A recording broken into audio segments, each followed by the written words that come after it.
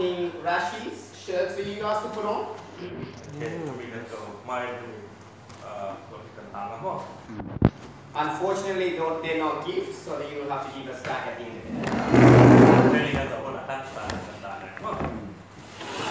We have six games for you set up outside to play.